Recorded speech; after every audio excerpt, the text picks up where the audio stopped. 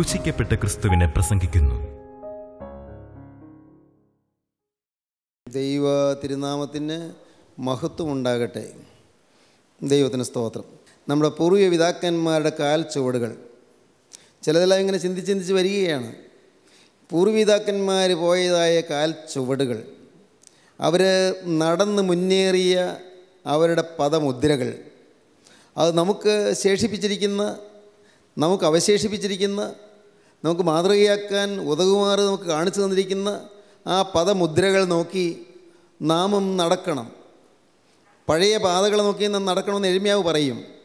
പഴയ വഴികളിലേക്ക് നോക്കുവിനെന്ന് പറയും. പഴയ വഴികൾ. The footsteps of our forefathers നമ്മുടെ പൂർവപിതാക്കന്മാരുടെ കാൽച്ചുവടുകൾ. നാം അബ്രഹാമിനെക്കുറിച്ച് ചില ചിന്തിച്ചു ഇസ്ഹാക്കിനെക്കുറിച്ച് ചില ചിന്തിച്ചു നാം യാക്കോബിനെക്കുറിച്ച് ചില ചിന്തിച്ചു. നാം യൗസേപ്പിനെ കുറിച്ച് ചിലതെല്ലാം ചിന്തിച്ചു. തിരുവചനത്തിൽ നിന്ന് അനേകം അനേകം കാര്യങ്ങൾ നാം ഒന്നൊന്നായി ഇങ്ങനെ ചിന്തിച്ചും ധ്യാനിച്ചും പഠിച്ചും വരികയാണ്. അടുത്ത സമയത്ത് നാം ചിന്തിച്ചത് ഹാനോക്കിനെ കുറിച്ചാണ് ഹാനോക്കിനെ കുറിച്ച് ചിന്തിച്ചപ്പോൾ തന്നെ നാം ഓർത്തു ഹാനോക്ക് ദൈവത്തോടുകൂടെ നടന്നു എന്ന്. ഹാനോക്ക് ദൈവത്തോട് നടന്നതുപോലെ തന്നെ ദൈവത്തോട് നടന്ന് വേറൊരു പൂർവ പിതാവാണ് നോഹ. ഹാനോക്ക് ദൈവത്തോടുകൂടെ നടന്നു നോഹയും ദൈവത്തോടുകൂടെ നടന്നു. അത് നമ്മുടെ മുന്നിൽ ഒരു വലിയ ആവേശമാണ്. ദൈവത്തോടുകൂടെ നടക്കുക ദൈവത്തോടുകൂടെ സഞ്ചരിക്കുക അദൃശ്യനായ ദൈവത്തോടുകൂടെ ഈ ഭൂമിയിലെ ജീവിതത്തിൽ നാം നിരന്തരം നടക്കുക. ദൈവത്തിന്റെ സാന്നിധ്യം അനുഭവിച്ചുകൊണ്ട് നടക്കുക. ദൈവത്തിന്റെ സാമീപ്യം അനുഭവിച്ചുകൊണ്ട് നടക്കുക. ദൈവത്തിന്റെ തേജസ്സിനോട് മുട്ടി ഒരുമിക്കൊണ്ട് നടക്കുക. ദൈവത്തിന്റെ സ്നേഹത്തിൽ നടക്കുക. ദൈവത്തിന്റെ വിശുദ്ധിയിൽ നടക്കുക ദൈവത്തിന്റെ വെളിച്ചത്തിൽ നടക്കുക ദൈവത്തിന്റെ സ്നേഹത്തിന്റെ അത്ഭുതകരമായ ശക്തിയോടെ ചേർന്ന് നടക്കുക. എന്തൊരു പദവിയാണത്. ഹാനോക്ക ദൈവത്തോടുകൂടെ നടന്നു. ദൈവത്തോട് നടന്നതുകൊണ്ട് ദൈവം അവനെ എടുത്തുകൊണ്ടു. മരണം കണ്ടില്ല. മരണം കാണാതെ എടുക്കപ്പെട്ടു. നോഹ ദൈവത്തോട് നടന്നു. വലിയ ന്യായവിധിയുടെ പ്രളയം വന്നപ്പോൾ നോഹ രക്ഷപ്പെട്ടു നോഹയിൽ കൂടി കിട്ടിയ വചനം വിശ്വസിച്ചവരും രക്ഷപ്പെട്ടു. പെട്ടകത്തിൽ കിടന്ന് രക്ഷപ്പെട്ടു. ദൈവത്തോടുകൂടെ നടന്നാൽ രക്ഷയുണ്ട്. ദൈവത്തോട് നടന്നാൽ ദൈവസനിലേക്ക് എടുക്കപ്പെടും. ദൈവത്തോടുകൂടെ നടക്കുക ദൈവത്തോട് നടക്കുന്നവർക്ക് രക്ഷയുണ്ട്. ദൈവത്തോട് നടക്കുന്നവർക്ക് ജീവമാർഗത്തിലൂടെ നയിക്ക് ജീവിതം നയിക്കാം. അവർക്ക് അവസാനം ദൈവസന്നിധിയിൽ തന്നെ ചെന്ന് ലയിച്ച് ചേരുകയും ചെയ്യാം. ദൈവത്തിന് സ്തോത്രം. നാം അന്ന് ചിന്തിച്ചു തുടങ്ങിയപ്പോൾ ഇങ്ങനെ ചിന്തിച്ചു നോഹയുടെ കാലം. അതൊരു വളരെ ഗൗരവമുള്ളൊരു വിഷയമാണ്. നോഹയുടെ കാലം. നാം അന്ന് വായിച്ചൊരു വേദഭാഗം നിങ്ങളുടെ മനസ്സിൽ ഓർമ്മയിൽ കാണും. രണ്ട് വേദഭാഗമുണ്ട് ഒന്ന് മത്തായിയുടെ സുവിശേഷം ഇരുപത്തിനാലാം അധ്യായത്തിൽ മറ്റൊന്ന് ലൂക്കോസിന്റെ സുവിശേഷം പതിനേഴാം അധ്യായത്തിലുമാണ്. മത്തായി ഇരുപത്തിനാലിന്റെ മുപ്പത്തിയേഴും മുപ്പത്തിയെട്ടും മുപ്പത്തി ഒൻപതും വാക്യങ്ങൾ. നമുക്ക് വായിക്കാം. നോഹയുടെ കാലം പോലെ തന്നെ മനുഷ്യപുത്രന്റെ വരവുമാകും. നോഹയുടെ കാലം പോലെ തന്നെ മനുഷ്യപുത്രന്റെ രണ്ടാമത്തെ വരവ് മനുഷ്യപുത്രന്റെ വരവും ആകും. ജലപ്രളയത്തിന് മുമ്പുള്ള കാലത്ത് നോഹ പെട്ടകത്തിൽ കയറിയ നാൾ വരെ അവർ തിന്നും കുടിച്ചും വിവാഹം കഴിച്ചും വിവാഹത്തിന് കൊടുത്തും പോന്നു. ജലപ്രളയം വന്നു. എല്ലാവരെയും നീക്കിക്കളയുവോളം അവർ അറിഞ്ഞതുമില്ല. മനുഷ്യപുത്രന്റെ വരവും അങ്ങനെ തന്നെ ആകും. ജലപ്രളയത്തിന് മുൻപുള്ള കാലത്ത് നോഹ പെട്ടകത്തിൽ കയറിയ നാൾ വരെ അവർ അന്നത്തെ ജനം തിന്നും കുടിച്ചും വിവാഹം കഴിച്ചും വിവാഹത്തിന് കൊടുത്തും പോന്നു. സാധാരണ ജീവിതം നയിച്ചു പോന്നു. സാധാരണ ജീവിതം. തിന്നുക കുടിക്കുക വിവാഹം കഴിക്കുക വിവാഹത്തിന് കൊടുക്കുക. ദൈനംദിന ജീവിതം നയിച്ചു പോന്നു. നോഹ പെട്ടകത്തിൽ കയറിയ നാൾ വരെ അവർ തിന്നും കുടിച്ചും വിവാഹം കഴിച്ചും വിവാഹത്തിന് കൊടുത്തും പോന്നു. ജലപ്രളയം വന്നു. എല്ലാവരെയും നീക്കിക്കളയുവോളം അവർ അറിഞ്ഞതുമില്ല. ആ മഹാനാശം സംഭവിക്കുന്നവരെയും എന്താണ് സംഭവിക്കാൻ പോകുന്നവർ അറിഞ്ഞില്ല. എന്നാൽ അറിഞ്ഞില്ലേ? വചനം കേട്ടതാണ്. നോഹയുടെ പ്രസംഗം കേട്ടതാണ്. നോഹ ജനത്തെ ഉത്ബോധിപ്പിച്ചത് അവർ കേട്ടതാണ്. നോഹ ജനത്തിന്റെ മുന്നറിയിപ്പ് കൊടുത്തത് അവർ കേട്ടതാണ്. പക്ഷേ വചനം പറയുന്നു അവരത് ഗവനിച്ചില്ല. മുന്നറിയിപ്പുകൾ കിട്ടി പ്രളയം വരാൻ പോകുന്നു ശിക്ഷാവിധി വരാൻ പോകുന്നു എല്ലാം മുടിയാൻ പോകുന്നു എന്നുള്ളതായി മുന്നറിയിപ്പുകൾ കിട്ടി. പക്ഷേ ജനം അതൊന്നും വിശ്വസിച്ചില്ല. നോഹയെ പരിഹസിക്കുക മാത്രമേ അവർ ചെയ്തുള്ളൂ. ജലപ്രളയം വന്നു എല്ലാവരെയും നീക്കിക്കളയുവോളം അവർ അറിഞ്ഞതുമില്ല. മനുഷ്യപുത്രന്റെ വരവും അങ്ങനെ തന്നെയാകും. യേശുക്രിസ്തുവിന്റെ രണ്ടാമത്തെ വരവും അങ്ങനെ തന്നെയാകും. ക്രിസ്തു വീണ്ടും വരുമെന്നെല്ലാം വചനം കേൾക്കുന്നു നാം എല്ലാം വിശ്വസിക്കുന്നു. അനേകം അനേകം ആളുകൾ ഇതെല്ലാം കേൾക്കുന്നുണ്ട്. പക്ഷേ പലരും വിശ്വസിക്കുന്നില്ല. പ്രസംഗിക്കുന്നവർ പോലും വിശ്വസിക്കുന്നുണ്ടോ? സുവിശേഷകന്മാർ പോലും വിശ്വസിക്കുന്നുണ്ടോ? സുവിശേഷ പ്രസംഗങ്ങൾ ഘോരഘോരമായി പ്രസംഗിക്കുന്നവർ പോലും ഇതെല്ലാം വിശ്വസിക്കുന്നുണ്ടോ? ഭയപ്പെടേണ്ട കാര്യമാണ് ഞാനീ പറയുന്നത്. ഇതിനൊന്നും വലിയ ഗൗരവമൊന്നും ആരും കൊടുക്കുന്നില്ല. തിന്നും കുടിച്ചും വിവാഹം കഴിച്ചും വിവാഹത്തിന് കൊടുത്തും പോരുന്നു. ദൈനംദിന ജീവിതം നയിച്ചു പോകുന്നു.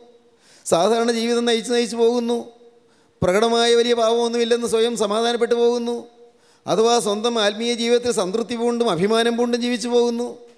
ചില ചടങ്ങുകളും ചില ആചാരങ്ങളും എല്ലാം അനുഷ്ഠിച്ച് അതിൽ സന്തോഷിച്ച് അതിൽ ആമോദിച്ച് അതിൽ പ്രശംസിച്ച് അതിൽ പുകഴ്ന്ന് അതിൽ മാത്രം ആശ്രയിച്ച് ചില ആചാരങ്ങളുടെയും അനുഷ്ഠാനങ്ങളുടെയും മറവിൽ ജീവിച്ചു പോകുന്നു. പക്ഷേ എന്താണ് സംഭവിക്കാൻ പോകുന്നതെന്നോ? ലോകം നാശത്തിന്റെ വക്കിലാണെന്നോ? അപകടകരമായ ദശാസന്ധിയിലേക്ക് ലോകം നീങ്ങുന്നുവെന്നോ? ആരും ആരും ചിന്തിക്കുന്നില്ല അറിയുന്നില്ല. വന്ന് മുടിച്ച് കളയുവോളം ആരും അറിഞ്ഞതുമില്ല. മനുഷ്യപുത്രന്റെ വരവും അങ്ങനെ തന്നെയാകും. ഇത് തന്നെയാണ് ലൂക്കോസിന് സുവിശേഷത്തിൽ നാം വായിക്കുന്നത്. ലൂക്കോസിന് സുവിശേഷം പതിനേഴാം അധ്യായത്തിൽ. നാം വായിക്കുന്നുണ്ട്. ഇരുപത്തിയാറാം വാക്യം വായിക്കാം. നോഹയുടെ കാലത്ത് സംഭവിച്ചതുപോലെ മനുഷ്യപുത്രന്റെ നാളിലും ഉണ്ടാകും. നോഹയുടെ കാലത്ത് സംഭവിച്ചതുപോലെ മനുഷ്യപുത്രന്റെ നാളിലും ഉണ്ടാകും. നോഹ പെട്ടകത്തിൽ കിടന്ന നാൾ വരെ നോഹ പെട്ടകത്തിൽ കിടന്ന നാൾ വരെ അവർ തിന്നും കുടിച്ചും അവർ തിന്നും കുടിച്ചും വിവാഹം കഴിച്ചും വിവാഹത്തിന് കൊടുത്തും പോന്നു. വിവാഹം കഴിച്ചും വിവാഹത്തിന് കൊടുത്തും പോന്നു. ജലപ്രളയം വന്നു. അവരെ എല്ലാവരെയും മുടിച്ചു കളഞ്ഞു. ജലപ്രളയം വന്നു. അവരെ എല്ലാവരെയും മുടിച്ചു കളഞ്ഞു. ഇതുപോലെ തന്നെയാണ് മനുഷ്യപുത്രന്റെ വരവും. യേശുക്രിസ്തുവിന്റെ വരവും. മനുഷ്യർ ഇത് ഇന്ന് കേൾക്കുമ്പോൾ അത്രയ്ക്കൊന്നും പ്രാധാന്യം കൊടുക്കുന്നില്ല. ജീവനുള്ളവരെയും മരിച്ചവരെയും ന്യായം വിധിപ്പാൻ തന്റെ വലിയ മഹത്വത്തോടെ ഇനിയും വരുവാനിരിക്കുന്നവനും തന്റെ രാജ്യത്തിന് അവസാനമില്ലാത്തവനുമായ യേശുമിശിഹായ ഏകകർത്താവിൽ ഞങ്ങൾ വിശ്വസിക്കുന്നുവെന്ന് പറയുകയും പ്രാർത്ഥിക്കുകയും ചെയ്യുന്നവർ പോലും ഈ പറയുന്നതൊന്നും വിശ്വസിക്കുന്നില്ല എന്നുള്ളതാണ് സത്യം. എല്ലാവരും അല്ല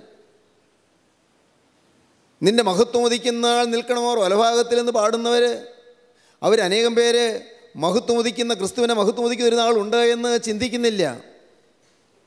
താവക മഹിമോദയ ദിവസേ നിൽക്കണമോ ഒലഭാഗേ എന്ന് പാടുന്നവർ പോലും അനേകരും ഒരു മഹിമോദയ ദിവസമുണ്ട്. യേശുക്രിസ്തുവിന്റെ മഹിമ ഉദിക്കുന്നൊരു ദിവസമുണ്ട് എന്ന് ചിന്തിക്കുന്നില്ല അത് വിശ്വസിക്കുന്നില്ല. പ്രിയപ്പെട്ടവരെയും നമ്മുടെ ഓരോരുത്തരെയും ജീവിതത്തിൽ ക്രിസ്തുവിന്റെ വരവ് നാം വിശ്വസിക്കുന്നുണ്ടോ എന്ന് നോക്കുന്നത് നല്ലതാണ്.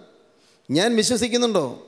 ഞാൻ നനച്ചിരിയാത്ത സമയത്ത് ഞാൻ അല്പം പോലും നിരൂപിക്കാത്തൊരു സമയത്ത് തീർത്തും അപ്രതീക്ഷിതമായൊരു സമയത്ത് അത് പകലാകാം രാത്രിയാകാം ജോലി ചെയ്യുമ്പോഴാകാം ഉറങ്ങി കിടക്കുമ്പോഴാകാം എന്റെ ജീവിതത്തിൽ ഞാൻ ചിന്തിക്കാത്ത സമയത്ത് യേശു വീണ്ടും വരും.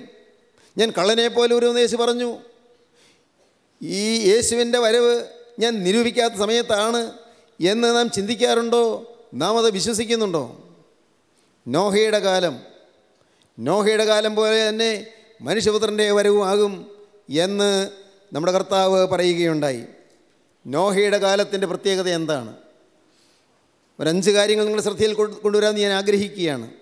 നോഹയുടെ കാലത്തിന്റെ പ്രത്യേകത. ആ കാലത്തിന്റെ പ്രത്യേകതയെല്ലാം ഇന്നത്തെ കാലത്ത് നമുക്ക് കാണാം. നോഹയുടെ കാലത്തെ പ്രത്യേകതകൾ അതെല്ലാം തന്നെ ഇന്നത്തെ സമൂഹത്തിൽ നമുക്ക് കാണാം. എന്താണ് നോഹയുടെ കാലത്തെ പ്രത്യേകതകൾ? നമുക്കൊന്നൊന്നായി ചിന്തിക്കാം. ഒന്നാമത്തെ കാര്യം ഉൽപ്പത്തി പുസ്തകം ആറാം അധ്യായം ഒന്നാം വാക്യത്തിൽ നമുക്ക് കാണാം. ഉൽപ്പത്തി പുസ്തകം ആറാം അധ്യായം ഒന്നാം വാക്യം മനുഷ്യരെ പെരുകി തുടങ്ങി. എല്ലാ ലോകത്തും മനുഷ്യർ അങ്ങ് വ്യാപിക്കുകയാണ്. മനുഷ്യർ നിറയുകയാണ്. ഇന്ന് ലോകത്ത് എല്ലാ ദേശങ്ങളിലും മനുഷ്യർ നിറഞ്ഞ് താമസിക്കുകയാണ്. ലോകത്തെമ്പാടും മനുഷ്യർ ചെതറി പാർക്കുകയാണ്. മനുഷ്യർ പെരുകിയിരിക്കുന്നു. എന്താണ് നമുക്ക് വായിക്കാം. ആറാം അധ്യായം ഒന്നാം വാക്യം. മനുഷ്യൻ ഭൂമിയിൽ പെരുകി തുടങ്ങി. അവർക്ക് പുത്രിമാർ ജനിച്ചപ്പോൾ മനുഷ്യ ഭൂമിയിൽ പെരുകി തുടങ്ങി. പെരുകി തുടങ്ങി. നോഹയുടെ കാലത്ത് മനുഷ്യർ ഭൂമിയിൽ പെരുകി തുടങ്ങി. അന്ന് മനുഷ്യന്റെ ആയുസ് വളരെ നീണ്ട വർഷങ്ങളായിരുന്നു. തൊള്ളായിരത്തി അറുപത്തൊൻപത് കൊല്ലം ജീവിച്ചിരുന്നു മെഥൂസലാഹ് തൊള്ളായിരത്തി അറുപത്തിരണ്ട് വർഷം ജീവിച്ചിരുന്ന ആരേത് എന്തിങ്ങനെയുള്ള പൂർവീയ പിതാക്കന്മാർ വളരെ കാലം ജീവിച്ചിരുന്നു. എന്നാൽ ജലപ്രളയത്തിന് ശേഷം ഒരു പുതിയ യുഗം ഉണ്ടായി ആ പുതിയ യുഗമായപ്പോഴാണ് മനുഷ്യന്റെ ആയുസിന്റെ ദൈർഘ്യം കുറഞ്ഞു കുറഞ്ഞു വന്നത്. ജലപ്രളയത്തിന് മുൻപ് മനുഷ്യന്റെ ആയുസ് വളരെ ദീർഘമായിരുന്നു. ദീർഘായുസായിരുന്നു പരിശീ മനുഷ്യർ പെരുകിത്തുടങ്ങി ആളുകളങ്ങ് വർദ്ധിച്ചു. ഇന്നും ഇത് തന്നെ നാം കാണുകയാണ്. പ്രിയപ്പെട്ടവരെ ഇന്ന് എല്ലാ നാട്ടുകാരും എല്ലാ നാട്ടിലുമുണ്ട് എന്ന് പറഞ്ഞാൽ എന്താണ്? കേരളീയരെ ലോകത്തിന്റെ ഏത് ഭാഗത്തും കാണാം. എവിടെ ചെന്നാലും കേരളീയരെ ഇവിടെ കാണാം. ലോകത്തിന്റെ എല്ലാ ഭാഗത്തെയും സ്ഥിതി എനിക്ക് അറിഞ്ഞുകൂടെങ്കിലും ഞാൻ മനസ്സിലാക്കിയെടുത്തോളം പറയാം. കേരളത്തിലുള്ള ചിലരെങ്കിലും ലോകത്തിന്റെ എല്ലാ കോണിലും മുക്കിലും മൂലയിലുമുണ്ട് ലോകത്തങ്ങനെ പരന്നിരിക്കുകയാണ് കേരളീയർ അതുപോലെ തന്നെ എല്ലാ നാട്ടുകാരും വിവിധ ദേശങ്ങളിൽ ഇങ്ങനെ പരന്ന് വ്യാപിച്ച് കിടക്കുന്നു. മനുഷ്യർ പെരുകിയിരിക്കുന്നു. പോപ്പുലേഷൻ എക്സ്പ്ലോഷൻ എന്ന് വേണമെങ്കിൽ പറയാം.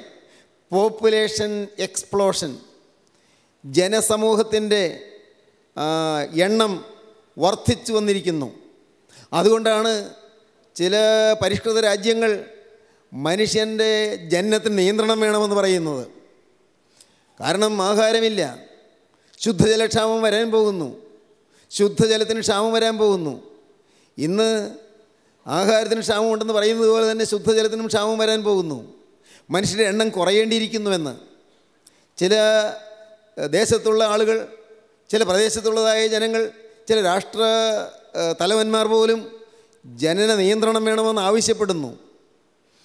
കുഞ്ഞുങ്ങൾ കൂടുതൽ ഉണ്ടാകരുത് എന്ന് ആഗ്രഹിക്കുന്നു. ആളുകളുടെ പെരുപ്പം നിയന്ത്രിക്കാൻ നോക്കുന്നു. ജനപ്പെരുപ്പം. മനുഷ്യർ പെരുകി തുടങ്ങി. നോഹയുടെ കാലത്തും പോലെ തന്നെ വരികയാണ്. മനുഷ്യ പെരുകി തുടങ്ങി.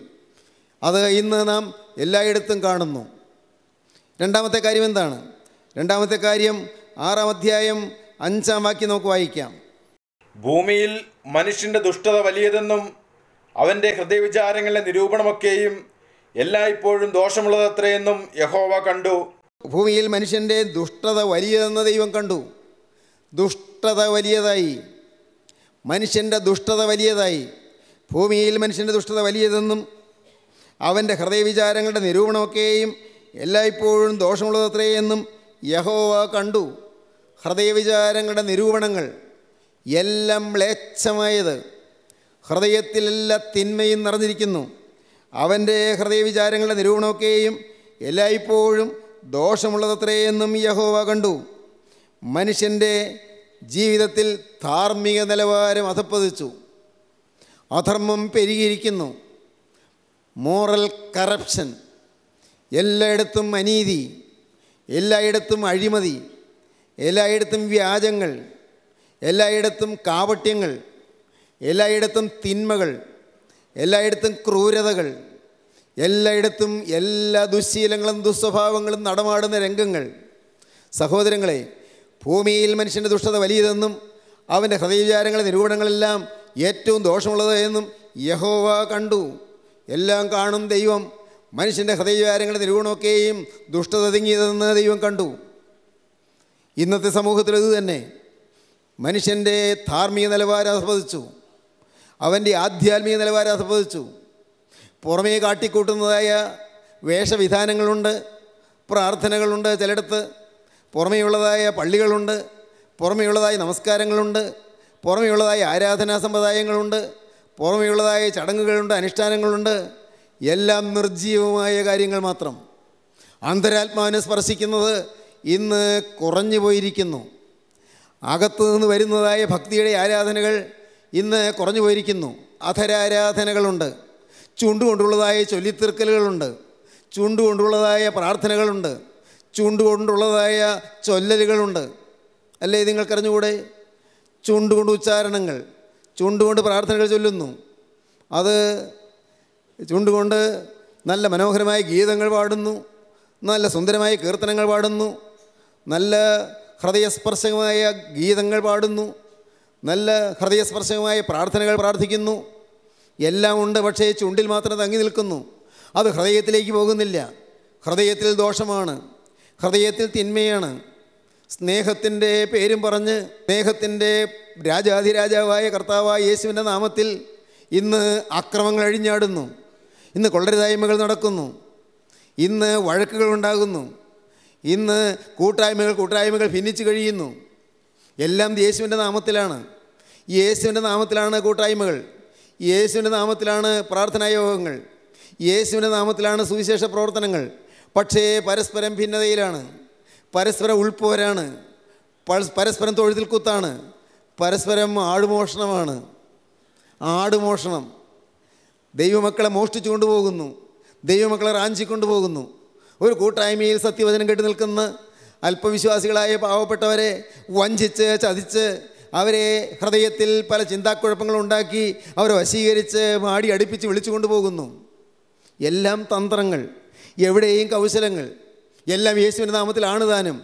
ധാർമ്മിക നിലവാരം അധപ്പതിച്ചു അന്നും നോഹയുടെ കാലത്ത് അത് അതുതന്നെ ഇന്നും ധാർമ്മിക നിലവാരം അധപ്പതിച്ചു ആ വാക്യം ഒന്നുകൂടെ വായിക്കാം. ആറാം അധ്യായം അഞ്ചാം വാക്യം. ഭൂമിയിൽ മനുഷ്യന്റെ ദുഷ്ടത വലിയതെന്നും ഭൂമിയിൽ മനുഷ്യന്റെ ദുഷ്ടത വലിയതെന്നും അവന്റെ ഹൃദയവിചാരങ്ങളുടെ നിരൂപണമൊക്കെയും എല്ലായ്പ്പോഴും ദോഷമുള്ളതത്രയെന്നും യഹോവ കണ്ടു. മനുഷ്യന്റെ ഹൃദയവിചാരങ്ങളുടെ നിരൂപണമൊക്കെയും എല്ലായ്പ്പോഴും ദോഷമുള്ളത് അത്രയെന്ന് യഹോവ കണ്ടു. മനുഷ്യന് അവന്റെ പ്രവൃത്തികളെ വേണമെങ്കിൽ നിയന്ത്രിക്കാം. ഇല്ലേ നിയന്ത്രിക്കാം. മദ്യപാനം ചെയ്യുകയില്ല എന്ന് തീരുമാനിക്കുന്നയാൾക്ക് മദ്യം തൊടാതിരിക്കാം മദ്യം എടുക്കാതിരിക്കാം മദ്യം കുടിക്കാതിരിക്കാം. പുകവലിക്കുകയില്ല എന്ന് തീരുമാനിക്കുന്നയാൾക്ക് സിഗരറ്റ് എടുക്കാതിരിക്കാം അല്ലെങ്കിൽ ബീഡി എടുക്കാതിരിക്കാം അത് കത്തിക്കാതിരിക്കാം ചുണ്ടിൽ വയ്ക്കാതിരിക്കാം അല്ല ചീത്തപ്പടം കാണുകയില്ല എന്ന് വിചാരിക്കുന്ന ആൾക്ക് മ്ലേച്ഛ പടങ്ങൾ മ്ലേച്ഛ ചിത്രങ്ങൾ കാണുകയില്ല എന്ന് വിചാരിക്കാം. മ്ലേച്ഛ ചിത്രങ്ങൾ അത് ഉള്ളിടത്ത് പോകുകയില്ലെന്ന് വിചാരിക്കാം. അഥവാ അത് കാണുമ്പോൾ കണ്ണടച്ചുകൊണ്ടിരിക്കാം. പക്ഷേ ചിന്തകളെ എങ്ങനെ നിയന്ത്രിക്കാം? ഹൃദയത്തിലെ നിരൂപണങ്ങൾക്കേയും ദോഷമുള്ളത് ചിന്തകളെ നിയന്ത്രിക്കാൻ പറ്റുന്നില്ല. ചിന്തകൾ കാട് കയറിപ്പോകുന്നു. കടിഞ്ഞാണില്ലാത്ത ചിന്തകൾ വികാരങ്ങൾ ഹൃദയത്തിലെ നിരൂപണങ്ങൾ വൈരാഗ്യ നിരൂപണങ്ങൾ പകയും വിദ്വേഷവും ഹൃദയത്തിൽ നിരൂപണം ഇഷ്ടക്കുറവും മുഷിച്ചിലും ഹൃദയത്തിൽ വെച്ചുകൊണ്ടിരിക്കുന്നു. ഉള്ളു മൂടിക്കെട്ടിയിരിക്കുന്നു. പുറമേ ചിരിക്കുന്നുണ്ട് പുഞ്ചിരിക്കുന്നുണ്ട്. പുറമേ അമ്മായിയമ്മയും മരുമകളും പുറമേ വർത്തമാനം പറയുന്നുണ്ട്. പക്ഷേ ഉള്ളിൽ ഇഷ്ടക്കുറവും മുഷിച്ചിലും നീരസവും കയ്പും തിങ്ങി നിൽക്കുകയാണ്. പുറമേ ഒരു ജോലി ഒരു സ്ഥലത്ത് ഒരു ഓഫീസിൽ തന്നെ ജോലി ചെയ്യുന്നവർ എല്ലാ കാര്യങ്ങളിലും മിണ്ടുകയൊക്കെ ചെയ്യുന്നുണ്ട്. പക്ഷേ ഉള്ളിൽ വഴക്കും വൈരാഗ്യവും ഉള്ളിൽ വെച്ചുകൊണ്ടിരിക്കുകയാണ്. മറ്റേയാളെ കെണിയിൽ വീഴിക്കാൻ ഒരാൾ തന്ത്രപൂർവം കരുക്കൾ നീക്കുകയാണ്. അത് ഇങ്ങേറ്റം കൂട്ടായ്മകളിൽ പോലും ഇതെല്ലാം നടക്കുന്നു. സുവിശേഷ രംഗങ്ങളിൽ പോലും ഇതെല്ലാം നടക്കുന്നു. മനുഷ്യന്റെ ഹൃദയവികാരങ്ങളുടെ നിരൂപണമൊക്കെയും ദോഷമുള്ളത് അത്ര അത്രയെന്ന് യഹോവ കണ്ടു. ധാർമ്മിക നിലവാരം ആസ്വദിച്ചു മൂന്നാമത്തെ കാര്യം എന്താണ്? നമുക്ക് വായിക്കാം. ആറാം അധ്യായം പതിനൊന്ന് പന്ത്രണ്ട് വാക്യങ്ങൾ. എന്നാൽ ഭൂമി ദൈവത്തിന് മുമ്പാകെ വഷളായി ഭൂമി അതിക്രമം കൊണ്ട് നിറഞ്ഞിരുന്നു. ഭൂമി ദൈവത്തിന് മുൻപാകെ വഷളായി ഭൂമി അതിക്രമം കൊണ്ട് നിറഞ്ഞിരുന്നു. ഭൂമി അതിക്രമം കൊണ്ട് നിറഞ്ഞിരുന്നു. അടുത്ത വാക്യം. ദൈവം ഭൂമിയെ നോക്കി അത് വഷളായി എന്ന് കണ്ടു. ദൈവം ഭൂമിയെ നോക്കി അത് വഷളായി എന്ന് കണ്ടു. പ്രിയപ്പെട്ടവരെ അല്ലേ ഇന്ന് എല്ലാം വഷളായിരിക്കുകയല്ലേ? ഇന്ന് എന്താണ് സ്ഥിതി? ഇന്നത്തെ പല സ്ഥലങ്ങളിലും അനേകമനേകം വൃത്തികെട്ട കൂട്ടുകെട്ടുകളിലേക്ക് ചെറുപ്പക്കാർ പോവുകയല്ല? ചെറുപ്പക്കാർ മാത്രമല്ല പ്രായമായവരും. വിവാഹ പൂർവബന്ധങ്ങൾ വിവാഹ ഇതര ബന്ധങ്ങൾ അതിൽ നിന്ന് സമൂഹത്തെ ഏറ്റവും ഹീനമായി അധപതിപ്പിച്ചിരിക്കുകയല്ലേ? വിവാഹ ബന്ധങ്ങൾ പ്രീ മാരിറ്റൽ സെക്സ് വിവാഹത്തിന് മുൻപുള്ളതായ അഴുക്ക് വേഴ്ചകൾ.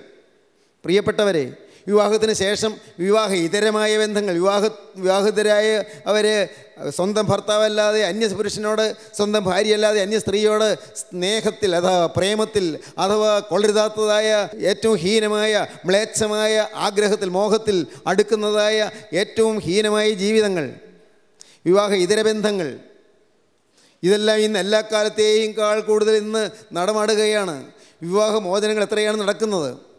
വിവാഹമോചനങ്ങൾ രാവിലെ വസ്ത്രം ഉടുക്കുന്നു വൈകുന്നേരം ആ വസ്ത്രം മാറ്റി പുതിയ വസ്ത്രം ഉടുക്കുന്നു അല്ലെങ്കിൽ അടുത്ത ദിവസം വേറൊരു വസ്ത്രം ഉടുക്കുന്നത് പറയുന്നത് പോലെ മുണ്ട് മാറുന്നത് പോലെ ഇന്ന് ഭാര്യ മാറുന്ന കാലം.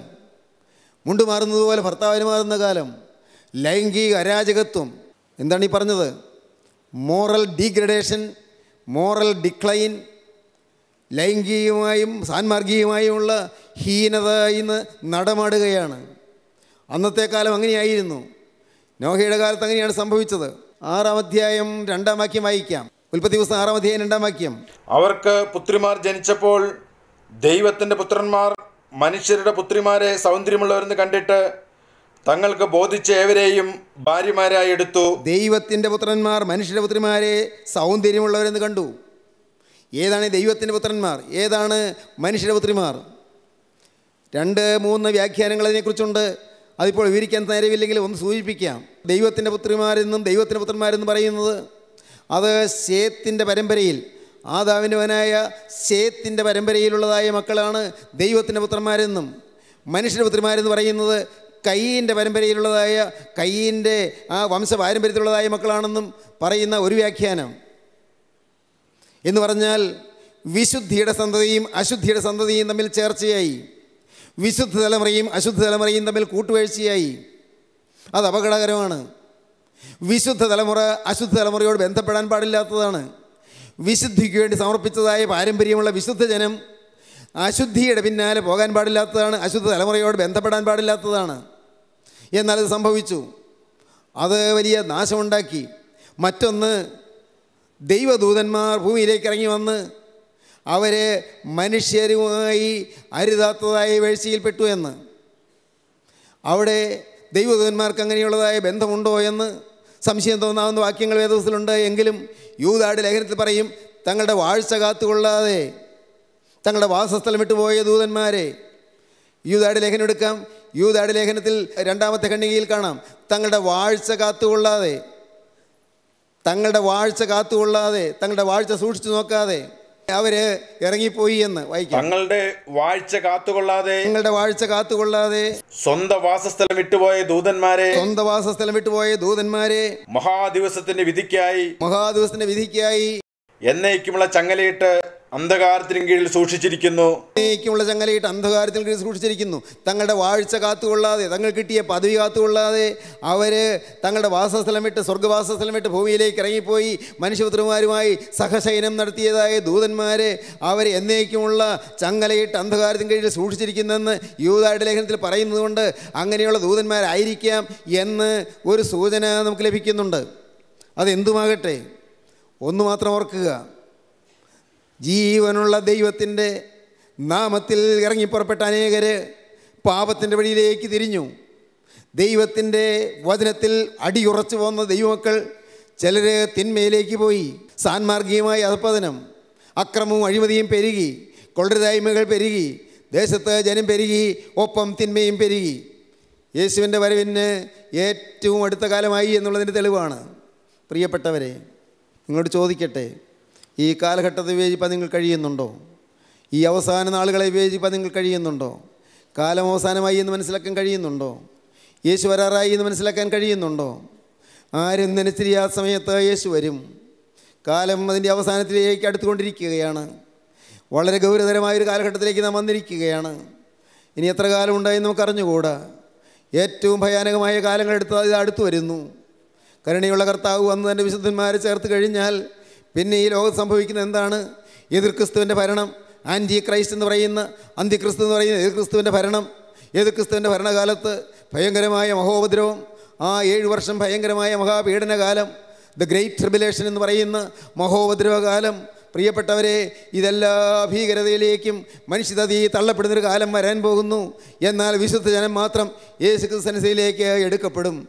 ഇന്ന് ഈ കേൾക്കുന്ന എന്റെ ബഹുമാന്യ സഹോദരങ്ങൾ യേശുവിന്റെ വരവിൽ ക്രിസ്തുവിന്റെ സന്നിധിയിലേക്ക് ചേർക്കപ്പെടുമെന്നുള്ളതായ ആ ഉറപ്പ് പ്രാപിക്കണമേ എന്ന് ഞാൻ വളരെ വിനയപൂർവം നിങ്ങളോട് അപേക്ഷിക്കുകയാണ്. കർത്താവ് യേശു വീണ്ടും വരുമ്പോൾ എല്ലാ തിന്മയിൽ നിന്നും വിട്ടകന്ന് നിൽക്കുന്ന ക്രിസ്തുവിന്റെ തിരുരക്തത്താൽ വീണ്ടെടുക്കപ്പെട്ട ജനം ക്രിസ്തുവിന്റെ ജയമുള്ള സ്ലീബായാൽ രക്ഷിക്കപ്പെട്ട ജനം ക്രിസ്തുവിന്റെ തിരരക്തത്താൽ വീണ്ടെടുപ്പ് അനുഭവിക്കുന്ന ജനം വിശുദ്ധ ജനം മാത്രം അവരൊരു കുറ്റിയായി ശേഷിക്കുന്ന ജനം അവർ മാത്രം സ്വീകരിക്കപ്പെടും. ആ മഹാഭാഗ്യശാലികളുടെ നിരയിലേക്ക് ചേരുവാൻ നിങ്ങൾക്ക് താല്പര്യമുണ്ടോ? എങ്കിൽ ഇപ്പോൾ നിങ്ങൾ ദൈവത്തോട് പറയുവീൻ കർത്താവേ എന്റെ മേൽ നിന്റെ കരുണ പകരണമേ. നാഥ ഈ കാൽ അറിഞ്ഞുകൊണ്ട് അറിഞ്ഞുകൊണ്ട് ഞാനിതാ തിരുമുമ്പാകെ വരുന്നു. എന്റെ പാപങ്ങൾ നീ ഓർക്കല്ലേ? എന്റെ അകൃത്യങ്ങൾ നീ ക്ഷമിക്കണമേ. കാലം അതിന്റെ അവസാനത്തേക്ക് അടുത്തു വരുന്ന ഈ സമയത്ത് എന്റെ ദൈവമേ എന്റെ ജീവിതം പുതുക്കണമേ എന്റെ ജീവിതം പുതുതാക്കി തരണമേ. നാഥ ജലപ്രളയത്തിന്റെ ഭീകരതയിലേക്ക് ജനം ആണ്ടുപോയതുപോലെ ശിക്ഷാവിധിയുടെ അപായകരമായ അവസ്ഥയിലേക്ക് ഞാൻ വീണു പോകാതിരിപ്പാൻ എന്നെ നീ രക്ഷിക്കണമേ. പാപത്തിന്റെ ഭീകരതയിൽ നിന്നെ കോരിയെടുക്കണമേ. തീ രക്തത്താൽ എന്നെ വീണ്ടെടുക്കണമേ. നിങ്ങൾ പ്രാർത്ഥിപ്പീൻ. നമുക്ക് സമർപ്പിക്കാം നമുക്ക് പ്രാർത്ഥിക്കാം. കരുണയുള്ള കർത്താവേ ഈ മനോഹരമായ സമയത്തിനായി ഞങ്ങൾ നിന്നെ സ്തുതിക്കുന്നു. എന്റെ കർത്താവേ നിന്റെ വരവിന് വേണ്ടി ഞങ്ങളെ ഒരുക്കണമേ. നിന്റെ വരവെങ്കിൽ വിശുദ്ധജനമായി നിന്റെ സന്നിധിയിലേക്ക് പറന്നു വരുവാൻ തക്കവണ്ണം ഞങ്ങളെല്ലാവരെയും ഒരുക്കണമേ എന്ന് പ്രാർത്ഥിക്കുന്നു. ഞങ്ങളെ വിശുദ്ധ ശുദ്ധീകരിക്കണമേ. തിരക്തത്താൽ ഞങ്ങളെ കഴുകണമേ. തിരുനാമം മഹത്വപ്പെടുത്തണമേ. യേശു ക്രിസ്തുവിന്റെ ജയകരമായ നാമത്തിൽ തന്നെ. ആമീൻ.